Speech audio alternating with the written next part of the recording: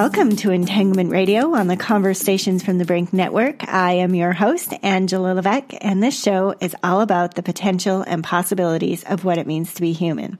Our guest today is author and Reverend Dr. Karen Tate, and we're going to be exploring the role of the divine feminine, the sacred feminine, especially what it looks like um, for uh, a resurgence of uh, goddess spirituality. And I think that this is a very poignant topic for right now. Uh, coming up next week, we do have. Um, Cynthia M. Ruiz on the program, and we're going to be talking about leadership and indigenous wisdom. So it'll be a fantastic show to follow up this one. If you'd like to know more about the show, you can go to the conversationsfromthebrink.com website. If you'd like to know more about myself, Angela Levesque, you can go to angelalevesque.com and you can find me on Facebook and on Twitter at Hestia Health. Um, so we are going to go right into it. Let me introduce my guest. Reverend Dr. Karen Tate is an author, teacher, speaker, radio show host, and social justice activist. Named one of the 13 most influential women in goddess spirituality, Karen hosts a long-running uh, blog talk radio show called Voices of the Sacred Feminine. She appears in the influential and award-winning film Femme, Women Healing in the World. Uh, she is regularly interviewed in the media and and also gives inspirational tops, talks on topics that motivate, uplift, and encourage equality, human rights, and social justice activism. Karen has written several books on the topic of the sacred feminine with titles like Goddess Calling, Inspirational Messages and Meditations of, of Sacred Feminine liberation theology, and walking an ancient path, rebirthing goddess on planet Earth, among many others. So with that, I feel very honored and blessed to welcome uh, Reverend Dr. Karen Tate to the program. Hi, Karen. How are you doing? Hi, Angela. Thank you so much for having me with you and your listeners today. Well, um, as I said just briefly at the top of the show, this is a, a really poignant conversation, I think, as we head into, um, by the time this show comes out, it'll be a couple of weeks before the inauguration of President Trump, if you can believe that we're putting those two words together. I know. I so, know. Well, let's start there. So, um, I have been trying really hard not to be discouraged. And as more of the cabinet picks are coming out and you're just seeing that it's really shaping up to be a cabinet of the top one percenters. In fact, this will be the most wealthy cabinet in the history of our, of our government. Um, if everyone gets, ends up being, um, accepted. But what, how can you explain what's going on at this time? Well, um, I think patriarchy is in its death throes. And I know you've probably heard people say that before, but and I've heard it as well, but I believe it now more than ever. Uh, I think what we are seeing uh, was uh, is a necessary thing for us, quite frankly. I think uh, way too many people were too comfortable, uh, in spite of the suffering out there. Um, I think there were a lot of incrementalists that just thought we could wait another you know 10 15 years for change and everything would be fine but you know other people were uh, you know had, had been holding on by their fingernails for a really long time and um, I, I think we got trump because people don't feel the establishment cared about them. You know, the establishment was just answering to the 1%. And I think what they they erroneously thought Trump was going to be different. Now, I don't think Trump is going to be different, but I do think, now sit down, I do think he is going to be a gift. Yes, I said a gift, and I'll tell you why. People are paying attention. People didn't just go back to business as usual. People are activated. People are motivated. I am sorry that it has to be fear has to be the motivator. But you know what? People are organizing now. People are ready to stand up and get off the couch and do something. And I think that is an incredible thing. I think the Republicans uh, are going to overreach shoot themselves in the foot, and that will be the end of them. And I think it, it you know, everything will be in place to create that new paradigm that we have all been wishing for, desiring, hoping for. You know, the new normal where, um, you know, it's not survival of the fittest anymore. It's not predator capitalism anymore, where, um, you know, it, there's more of a level playing field out there. And I think this is just the last hurdles we're going to have to go through to awaken people, to motivate people, and uh, I, am actually I'm actually kind of excited about this. Hmm. I, I absolutely have uh, thought of everything that you just talked about. That he's going to be a great uh, catalyst for change. And then I'm trying really hard not to go into that fear place. You know, I just saw that he uh, so many of the people that he's put in his cabinet, cabinets have been um, outspoken critics and thinking that those cabinets need to be, or those departments need to be destroyed. So, you know, he's putting people in charge of perhaps eliminating them. And maybe, I, I don't know, maybe that's where we need to go. But I, uh, I, I really, um, I really hope that what you're saying is true. And I do, I think I kind of waffle between, yeah, that's that's what's happening and oh crap. well, you know, two things, two things. You know, I, I, I hear you and I, I go there too. Okay. Um, but I am, I am really trying hard to tell, uh, for myself and to tell all my friends, you know what, let's create our re- own reality bubble. Okay. Because we know that what we put out in the world manifests. All right. So let's um, tune out the fear mongering media Let's focus on what we want to create. Let's not uh, I mean, let's you know, let's use the fear in a positive way to keep us motivated. But I think all of these people that he is putting on the cabinet, uh, in his cabinet, that want to do these terrible things, they are going to hear the voice of the people. Look at how people rallied around Standing Rock. Okay. Mm-hmm. Um, and I don't know if people remember because a lot of people weren't paying that close of attention. But when George Bush started making noises about trying to privatize Social Security, people shut down the switchboard in Congress and he quickly dropped that idea. So I think if we all stay awake and we all respond when some, excuse me, some shit comes down the pike like they did when they were talking about privatizing Social Security, we have to stand up, like Bernie Sanders talked about. This is the revolution we have been waiting for. And I think uh, rather than just having uh, a small a small percentage of the people who are ready. I think a lot of us are ready now. You know, we don't want what he's offering. We don't want what his cabinet is going to be offering, and and the people are going to have to stand together and let their will and their voices be heard. And there's all sorts of ways we can do it. You know, um, I, I was inspired by what Bernie Sanders was able to accomplish. The response to him, the media is actually treating him with respect now. He's all over media now. This message is resonating. And, um, you know, I think two years from now, things are going to look very different. When we go into the 2018 elections, I think there's going to be a course correction. Oh, I yes, I absolutely agree.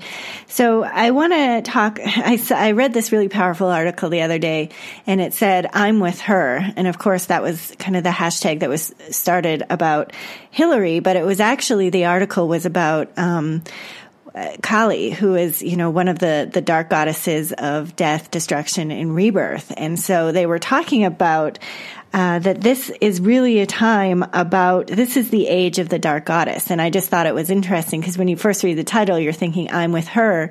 And i would actually like your opinion on this that i thought hillary didn't really um, adequate, adequately represent the sacred feminine in, in my opinion. So there's kind of two things i want to talk about. First what does this age of the dark dark goddess. What does that mean and what does that look like? And then also your thoughts on Hillary as, because people thinking, you know, when they think about divine feminine, they think about, you know, that, that that represents a woman and that she could have been our first woman president. But to me, she didn't embody a lot of the stuff we're talking about today. So I'll leave you with those two things. Uh, well, I totally agree with you, and thank you for these questions. Um, the dark goddess, you know, the dark goddess is also about destruction. You know, the dark goddess is about getting away, get, doing away with the things that no longer serve us so that something else can be reborn. And I think that's how we have to look at it. You know, Kali and Durga uh, were incredible, uh, you know, uh, goddesses for fighting evil.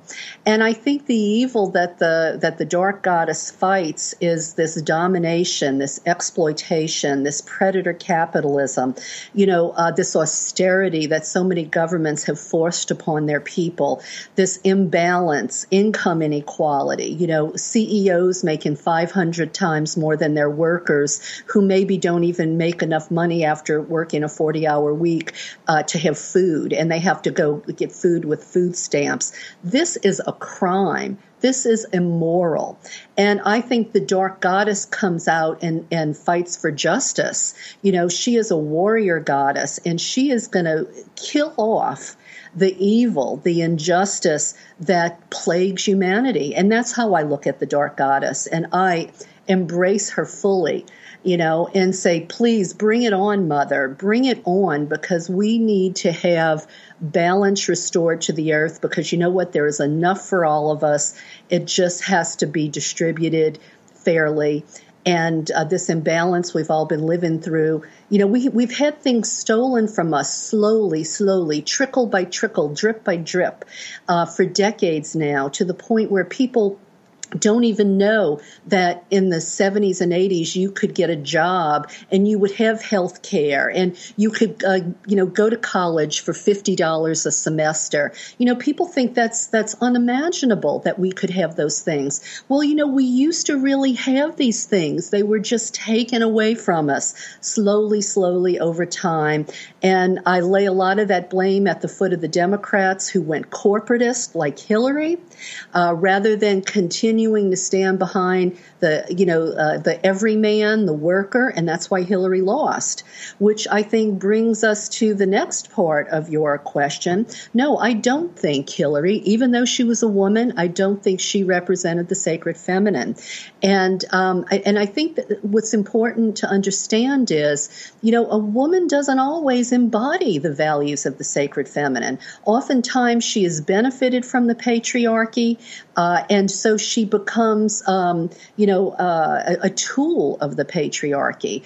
And that's how I honestly saw Hillary. You know, she was. I mean, I mean, Bernie said it. You know, do you think all of these corporations gave her all of that money for nothing? Do you think those transcripts she wouldn't release that, that there was a reason she didn't release those transcripts?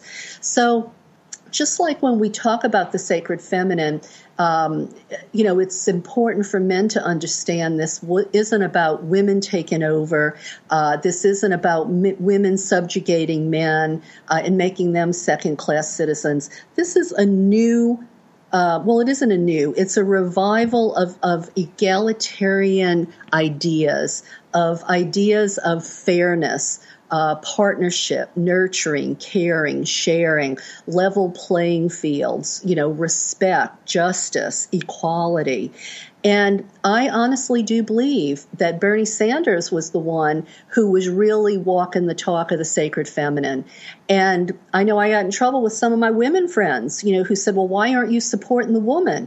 Well, you know, the woman isn't always the right one. Look at Margaret Thatcher. Look at Sarah Palin, for instance. You know, there have been a lot of women in history who have just been, uh, you know, have propped up the status quo, the establishment, because they benefit from it. And, um, you know, I, I, totally agree with you that she, I would love to see a woman in the White House, but she was not the right woman. And I think people sensed that. Um, and uh, they didn't want what she was selling because it was going to be more of the same. So then from that, I can take that we can't use the word feminism and, and sacred feminine interchangeably. There is a difference. I think that there's probably places where they connect, but feminine and feminism in and of itself doesn't necessarily um, fall within those some of those characteristics you were talking about. Is that true? Well, um, yes, and that's a very astute observation. Fem- okay, feminism. There, I guess you could maybe we could say there are different brands of feminism. You know, feminism originally meant that we wanted we wanted justice, we wanted equality, we wanted human rights, um, you know, uh, and, and that sort of thing. And, and, I can see that Hillary would want those sorts of things. However, it's in how you get to it. You know, I see Hillary was a corporatist feminist, okay?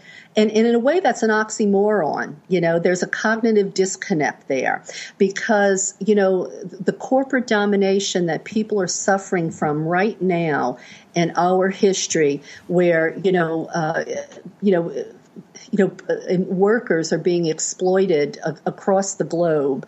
You know, corporatism is what's, I think, destroying the fabric of society in, in some cases, whether it be Mother Earth or whether it be uh, you know, people who can't make enough money after they've worked a 40 hour week, or they have no benefits, or they've lost their retirement, or they never had retirement. And, you know, they, uh, you know, you have people who don't want minimum wage. You have people that don't want overtime. You have people that think there shouldn't be laws to protect. Um, you know, child labor. I mean, it's insane when you think about um, how corporations want to go unfettered with no regulation so that they can just make slaves of us all. And, you know, I, I, I, think if you're talking corporate feminism, you have to be very careful and you have to really look closely at what that means because it can mean just more domination doled out by a woman instead of by you know the the men who were usually sitting in the boardrooms where i think feminism you know, uh, in, in, its original idea, in its purest sense, is sacred feminine ideals about you know we're all in this together. Let's take care of one another. You know the the partnership idea where we create win-win situations. Like over in the Scandinavian countries you know they have something called the 40% solution. After gov you know after government has paid for you to have a college education they want a return on their investment. They require that boardrooms in some of these Scandinavian countries um, have 40% women in the boardroom you know? So it's that sort of you know shift bringing balance back you know that we can do um, you know it, it, it, they can work together but we have to be really careful. And i think women like hillary with her corporate feminism it's almost i think a faux feminism if you will yeah, I absolutely, I agree with you. So, uh, you're speaking today in part, you're kind of doing a, a, a book tour for Goddess 2.0. And this idea of 2.0 means that this is uh, kind of a revisioning or a, a reimagining of goddess spirituality. And one of the things, in, and it's an anthology, and there's many wonderful um, essays written by both men and women. There was quite a few men as well. But in your chapter, you talk about the reawakening of our earliest sacred stories and that those are really important. And what, tell us, uh, give us an example of maybe revisiting some of those sacred stories and, and why it's so important. Okay, well, you know, what I think a lot of people don't realize is mythology shapes our culture. And if we grow up with a mythology where we only have a male god, we end up with male leadership. We end up with patriarchy. We end up with women subservient to men, uh, second class citizens, men thinking they can still tell women what they can do with their bodies, with, you know, um, you know, uh, dictating women's morality, their pay, you know, 70 cents on the dollar, that sort of thing. Okay. Um, if we instead went back to our pre patriarchal myths, if we went back to our egalitarian myths, or if we started rewriting new myths that had a healthier sort of attitude, then that then slowly shapes culture. And if you think that mythology is just, uh, you know, something you read when you were in eighth grade and it had no relevance, I would just say think of the story of Pandora, where the woman opens up the box and you know uh, uh, gives us all the evils of the world or the ills of the world, or the Garden of Eden. Look at the influence that story has had on women for thousands of years and still does today. You know, women is the sinner, women is the temptress. You know, women have to suffer for uh, causing humanity to be bumped out of the Garden of Eden, all of this stuff. Well, uh, Merlin Stone, feminist foremother, real feminist, uh, believe that that was one of the first pieces of political propaganda. It took us away from the ideals of the sacred feminine, from egalitarianism, where the genders were more equal, uh, and we had a feminine face of God along with a masculine face of God, and it shifted us into this patriarchal culture that we get from these Abrahamic religions. So let's just take uh, Demeter and Persephone, for instance the most people know the Demeter and Persephone myth, where Hades abducts Persephone, takes her down into the underworld, and you know we have the seasons because Demeter is sad when her daughter is not with her up on Earth anymore. Okay, that is the patriarchal version of Demeter and Persephone, and we believe that that story of abduction, rape, um, you know, taking the woman against her will, kidnapping, that in a way, this is just gives license for males to do bad things, uh, to dominate, okay to exploit to have their way. Their you know you know their will is the only thing that matters there was an egalitarian version of Demeter and Persephone when it wasn't about abduction and rape and kidnapping. And there was a pre-patriarchal version where Hades wasn't even in the story. It was a story about a mother and a daughter and a good relationship between mother and daughter, where the mother learns that she has to let the daughter go off and live her life, and the daughter understands that she has to grow up and become a woman and choose her path. Now, when I teach that story, that myth now, I extrapolate on that. And I say, you know what? Let's take it a step further. It's not just about mother and daughter relationships, it is about relationships between women because women have to heal their relationships with one another too. You know, because we've been hurt by patriarchy. There's too much um, uh, backstabbing and competition and ugliness between women, like when Phyllis Chesler wrote her wonderful book, Woman's Inhumanity to Woman. So now when I teach Demeter and Persephone, I also say this is about good relationships between women. That, you know, we are all mothers or daughters, and, you know, this is about supporting one another, not being in competition with one another and doing all these insidious things that women tend to do when, you know, we're on the outs with each other. And, you know, there I said it, the elephant in the living room.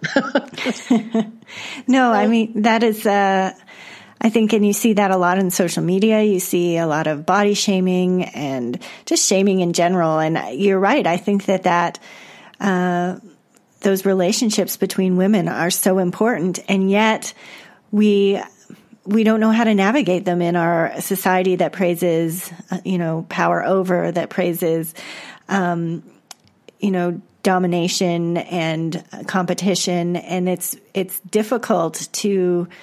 Uh, well, it can be difficult to navigate some of that, and but I have seen such a resurgence. In fact, even just in my life, in the past six months, I've um, started to become part of several women's groups. Some are very, uh, one is actually just based in connecting with the, the divine feminine. And another one is again, just nurturing our relationships in any way we can possibly, you know, professionally, personally. And it is, uh, it is changing my life. In fact, to have that, um, support, positive support network in my life in all aspects of, you know, be, as being a mother, as being a professional. And yeah, it's, it's really, uh, been supporting so many decisions and just the way that I show up. So it's yep. been fantastic. Well, and and you know, it does make an incredible difference. You know, there was a time when I was afraid of my own voice. You know, I wouldn't even utter a word in public, and look at me now. You know, and and and I credit that to women who have supported me, who have nurtured me, like what you're talking about. And you know, if if there's so many um, uh, uh, examples of sacred feminine stories out there that would give us a new narrative, that would help us carve a new path. You know, there are there are environmental goddesses, there are goddesses about women's leadership. You know, and and I also tell people, you know what, um, the people who wrote the myths or the Bible stories, um, you know, they had an agenda um, and they. Um, uh, you know, perhaps they were divinely inspired. So there, so in other words, they are no different than you or I. We have an agenda to to change the world. We want social and cultural transformation so that the world is a kinder place and we all have a better quality of life. And um, you know, so let's start telling stories that help make that happen, you know? And who's to say we aren't being divinely inspired, just like those apostles, just like, you know, the people who wrote those Bible stories, you know? They were no different than us. They were human beings and they had a message and we have a message. And I would just encourage listeners to take a Bible story. This is what we do in my writing classes. Take a Bible story and rewrite it uh, you know, take the ugliness out, take the hate out, take the war, the violence, all of that out, and rewrite it. Rewrite it using sacred feminine ideals. You know, uh, rewrite a myth using sacred feminine ideals, and let that be, you know, the stories that guide us to create the new world. So, if we created a goddess religion, would it have the same? Would it the same structure? Uh, you know, tenets, um, commandments, guidelines to follow, and have maybe the same expectations that some of the the major religions have uh, as far as their followers, or would it be more um, just from the nature of of what it's talking about? Would it be more um, open to interpretation and personal spirituality? I, I think so uh, because I think the um, you know one of the reasons I, I, I talk about the sacred feminine as values rather or spirituality rather than a religion um, is because you know I think people are tired of authoritarian religion. You know they want to have freedom. You know, and I think about goddess as sacred feminine liberation theology. You know, um, sets us free to be our authentic self. We don't have these dogmatic rules about, oh, you can't be gay or you can't be this or you can't do that. You know, of course, we have to use discernment and good judgment and we can't kill each other and we should honor our father and mother. But, you know, we should also. I, I, think um, uh, look at the values of the sacred feminine and see how we can bring them into our lives. Um, you know, how do we uh, have respect and partnership and justice and equality? You know, I, I, I laugh a little bit because you know what? If that was the dogma of Abrahamic religions to really have those things, well, then maybe I could swallow the dogma of Abrahamic religions. But unfortunately, you know, the Abrahamic religions are more about um, hierarchy rather than, you know, egalitarian playing fields. It's more about subjugation. It's more about control over and domination. Um, you know, maybe at one point they were well intended, but it, you know, it, uh, power corrupts you know, and, and it becomes too um, oppressive. And I, I would never want to see goddess spirituality becoming oppressive. I think it's about, you know, being our authentic selves, taking care of one another, love, balance, uh, the sacred feminine and you know and um, and masculine side by side on their throne, you know, in the clouds. If you know you want a visual, um, you know, inequality. Um, you know where we have uh, you know nurturing. And you know those are the values that we think are important in the world rather than power over and survival of the fittest and um, you know my way or the highway uh, kind of thinking. If i don't know does that make sense angela? No it absolutely does. And i actually would prefer it as i was reading through some of um, the essays by the different authors. There was a few people that referred to it as goddess religion. And right away that that the r word was making me cringe. But when it was you know earth goddess spirituality or earth-based spirituality or sacred feminine that to me seemed more in alignment a more of a resonant match between some of those those qualities and characteristics that we're talking about than that which i perceive you know occurs in in a religious framework Yes, yes, absolutely. And, you know, I mean, this is about women to, uh, I mean, there, there are other stories in there about why women need to be in politics, you know, uh, so that we can bring more balance into the world, so that these feminine ideas and values start to permeate our, um, you know, our laws and our morality. And, you know, we get away from this dominator model uh, you know, that so many of us, you know, are sort of under the yoke of, um, you know, there's uh, essays in there about, um, you know, uh, the right to health care and uh, women's right to control their own bodies and uh, veganism, you know, uh, because look at look at how we are treating these these um, animals in factory farms. If people could see what really happens to those poor animals, um, you know, I, I, I think it would cause massive losses probably to the food industry. And that's why they don't let us see those things.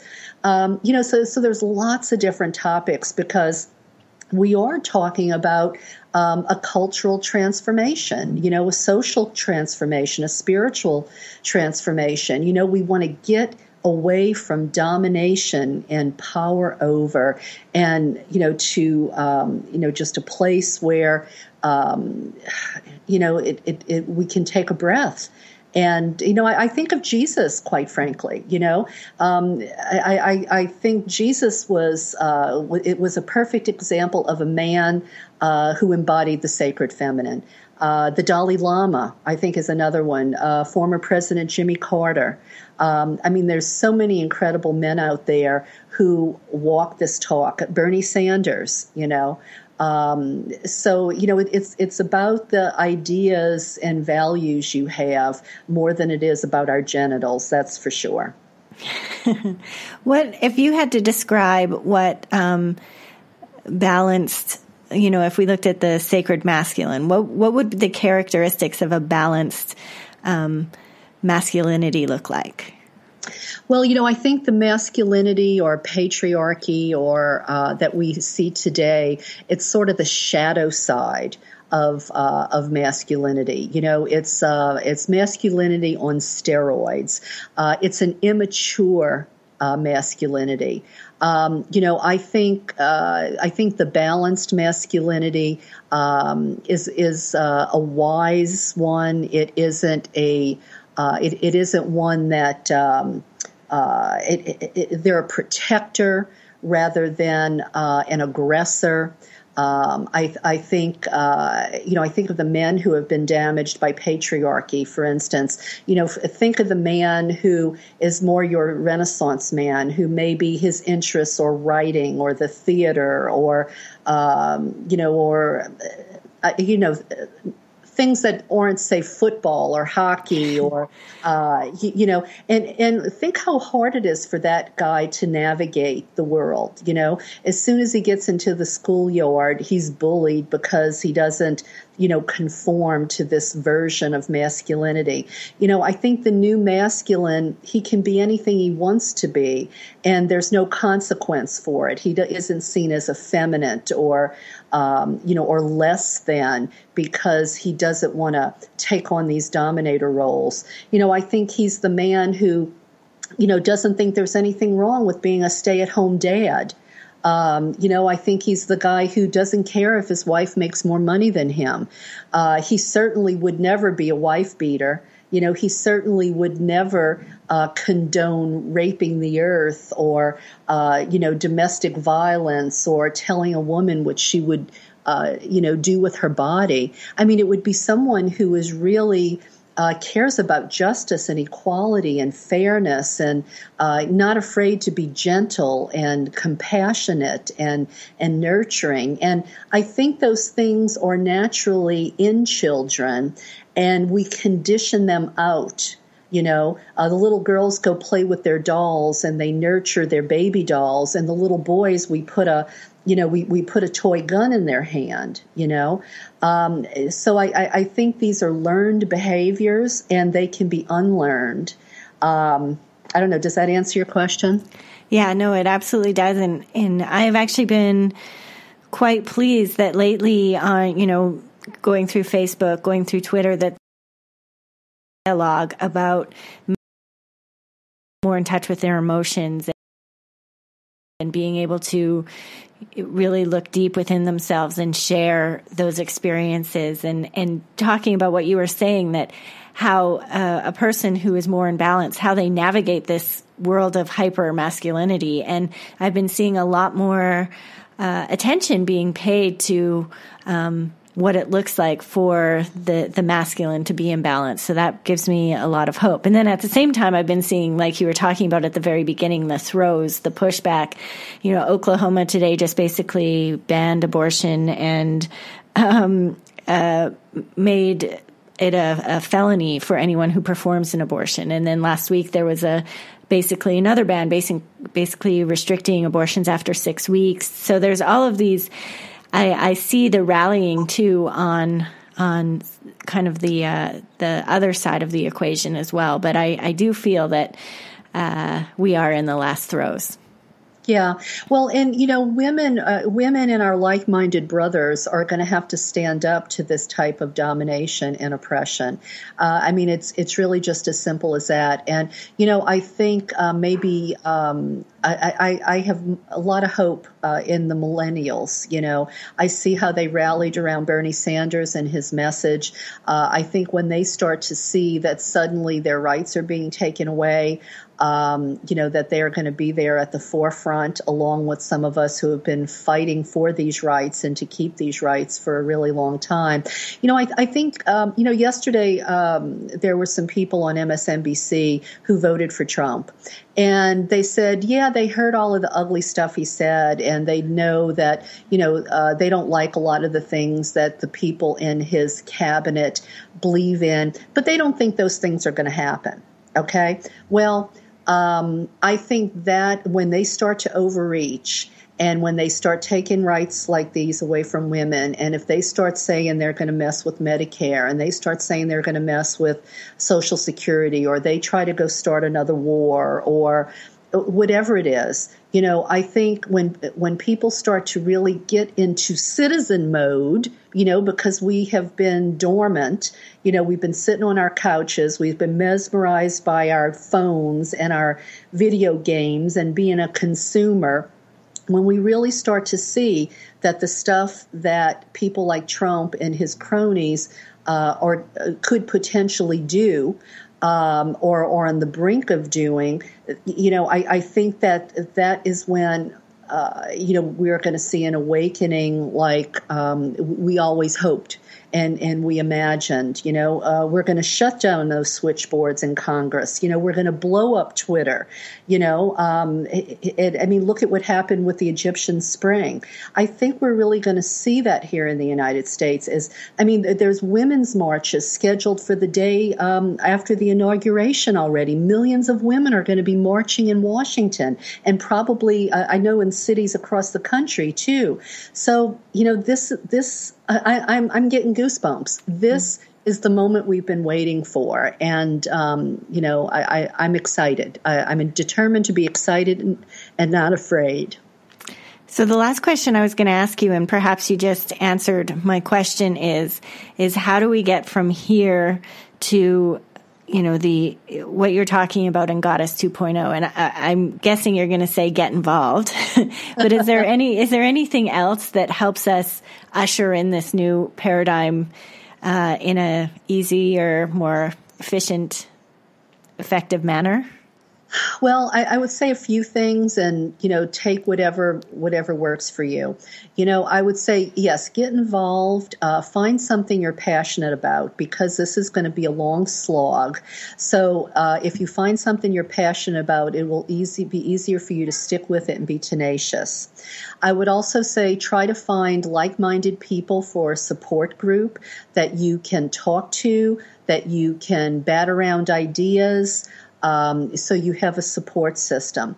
I would say um, educate yourself. We have to be responsible for our own education because you know what? The corporate media is owned by corporations. Why do you think they shoved Bernie Sanders, they marginalized Bernie Sanders and made him irrelevant? Because the message that he was saying, among other things, was corporations need to start paying their taxes you know, um, and, and, and, lots of other stuff. You know, he was talking about things for the people, not for the corporations. So we have to tune out the corporate media. We have to find reliable sources of information. You know, Amy Goodman, uh, you know, Democracy Now! Uh, lots of times the Rolling Stone is a good source, Ring of Fire. Um, you know, there's uh, online people, the, you know, the Young Turks, uh, Jimmy Dore, uh, people where we can get in from, you know, get reliable information about what's going on. Because you know what? I am certain that people who voted for Trump were low information voters. They really didn't know what they were doing. And I hate to say it, but I know for a fact a lot of my women friends didn't really know what Hillary was about either. They just they just swallowed the the uh, information that came out of her campaign. They didn't really know everything about her, and they were dying to have a woman in the White House and, you know, everything else be damned. So it is so important that we try to take some time to know the issues and um, be able to see through uh, the lies that the politicians say. Because you know what? I know the Republicans are going to start saying, oh, well, we have to make all of these cuts to Medicare and Social Security to save it. Well, that's bullshit. Okay, it's bullshit, um, and we so we have to know these things uh, so that we know who to vote for and we know what's going on, so that um, you know we aren't taken advantage of. Well, I love that. And I think that's a great place to end the show. So I want to give you plenty of opportunity to share where people can find all of your books and know a little bit more about you and when your radio show is on. Anything you'd like to leave my listeners with today? Oh, thank you, Angela. Well, you know, the easiest place to find me and everything about me is my website, and it's my name, Karen Tate karentate.com, karentate.com. And um, you can find my radio show there. I air my show every Wednesday night. It's Voices of the Sacred Feminine on Blog Talk Radio. Uh, there's 10 years of archives there, uh, women and men uh, talking about the big umbrella that is the sacred feminine uh, from the perspective of deity, archetype, and ideal. Um, uh, you know, I can actually sell my books now cheaper than Amazon for some reason. Uh, so uh, please, uh, I, I, you know, I would love for you to buy my books on Amazon, but I would love it even more if you would come to my website, karentate.com, and, uh, you know, buy books directly from me. Um, so between my uh, my radio show and and my books, uh, you know, um, I would I would just say uh, check out the website and um, uh, you know, just just invite you to, you know, move forward in the world with th- seeing the world through through this lens. Are you seeing respect and partnership, or are you seeing domination and exploitation? And I think that's a good measuring stick um, to judge what's happening in the world. Well, Karen, thank you so much for being on the program today. I really enjoyed our conversation. Thank you. Thank you, Angela. Well, coming up next week, we have Cynthia M. Ruiz, and we are going to be talking about leadership and indigenous wisdom. So that'll be a great follow up to t- today's conversation. If you'd like to know more about the show, conver- you can go to the conversationsfromthebrink.com uh, and find out more there. Or if you'd like to know more about myself, Angela Levesque, you can go to angelalevesque.com. You can find me on Facebook and on Twitter at Hestia Health. It's a good goddess name. And uh, yes, thank you for listening. We'll be back next week.